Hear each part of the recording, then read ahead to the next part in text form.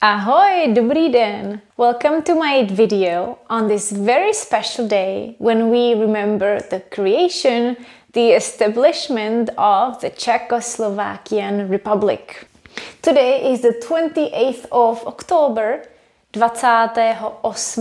října, and exactly 103 years ago, in 1918, 1918, the Republic of Czechoslovakia was established. This day, the 28th of October, is the national holiday, státní svátek, the state holiday.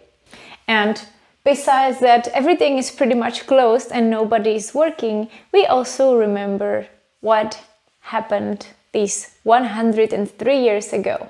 Let's have a quick look back into history.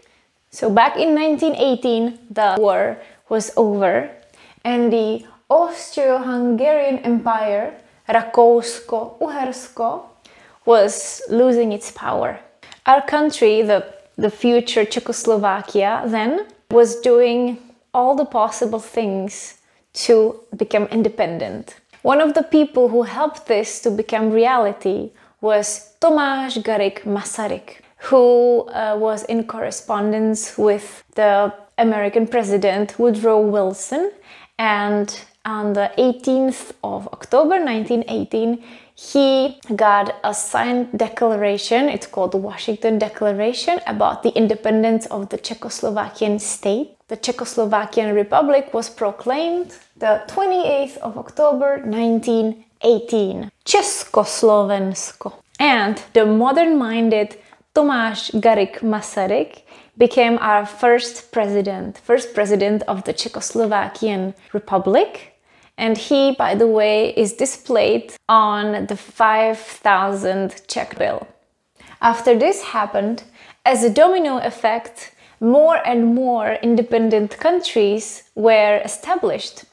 The very next day, the 29th of October, the states of Slovenes, Croats and Serbs was established. On November 3rd, the West Ukrainian People's Republic was established, and November 6th was the re-establishment of Poland.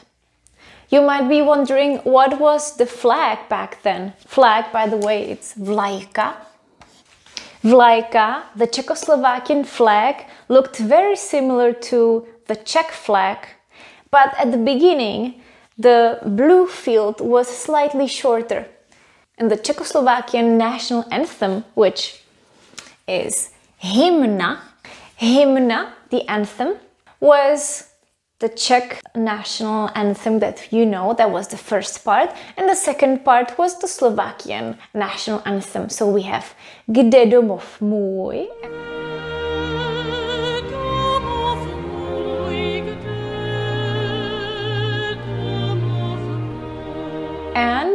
Nad Tatrou sa blýska.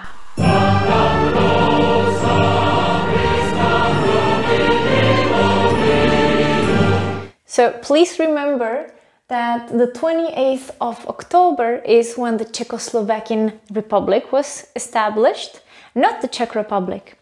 The Czech Republic was established on the 1st of January 1993, 1. ledna 1993. I was still born in Czechoslovakia.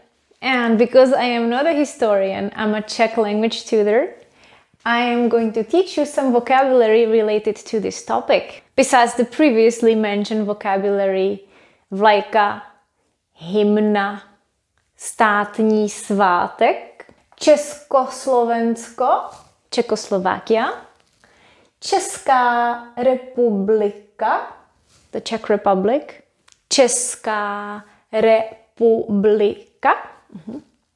Slovensko, Slovakia, Slovensko. And now the adjective český or česká, české, Czech. Slovenský, slovenská, slovenské, Slovakian. And československý, československý, Czechoslovakian. Česky would be the adverb in Czech. For example, when I say mluvím česky or prosím vás, mluvíte česky? Do you speak Czech? Mluvíte slovensky? Do you speak Slovak? Or já mluvím česky a rozumím slovensky. Nemluvím slovensky.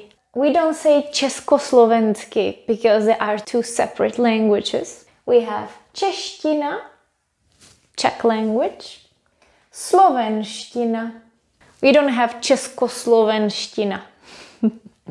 so, enjoy the holiday. Užijte si svátek. Krásný sváteční den vám přeje Zuzka.